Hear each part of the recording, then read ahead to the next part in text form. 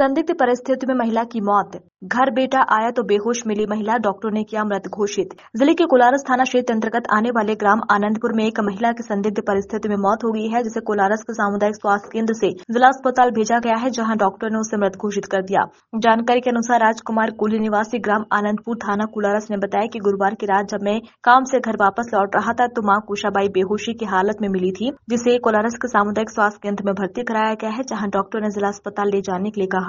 जिला अस्पताल में डॉक्टर ने महिला को मृत घोषित कर दिया है। पुलिस ने महिला के शव को पीएम कराकर जाँच शुरू कर दी है। क्या नाम भैया आपका? राजकुमार कोहली। राजकुमार? कोहली। कहाँ से आए हो आप? बस उनका तीनों का संग ही हो रहा है तीनों के पारा आ चुके कहाँ से आए हो आप? आनंदपुर। आनंदपुर। थाना कौन सा लगता है? कोलारस कोलारस थाना। तो क्या हो गया आपकी माता जी को? माता जी को पता ही नहीं क्या हो गया। मैं तो काम पे गया तो आया तो ऐसी मुझे मैं लेके आ गया। कहाँ पर ख़त्म हो गई थी? ख़त्म तो कोलारस में ही हुई। तो मतलब क्या हो गया था कुछ खा लिया था इन्होंने क्या?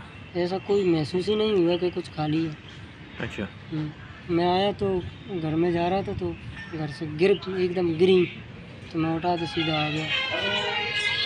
कब की बात है जी? रात की। कल रात की बात है। दस बजे। तो आप कहाँ ले गए थे इलाज करवाने? कोलारस कोलारस ले गए थे। डॉक्टर ने क्या बोला था? डॉक्टर ने कुछ नहीं बोला सीपरी ले जाओ सीपरी लेके आओ। शिवपुरी डॉक्टर को देखा था आपने? हाँ क्या बोला डॉक्टर ने? उन्होंने कुछ नहीं बोला ख़त्म हो गई थी जाओ। तो काय से हो गई? वो पता ही नहीं चला अभी तक हमें अच्छा। कैसे हुई? क्या हुआ? तो अभी पीएम के लिए लाए हो आप? पीएम के लिए लाया।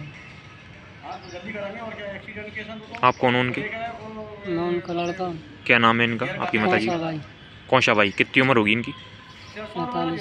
पैंतालीस के आसपास। आपके पिताजी का क्या नाम? छोटे लाल छोटे लाल